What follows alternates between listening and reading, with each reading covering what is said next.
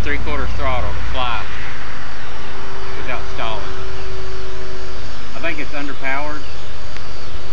I think the prop's too small.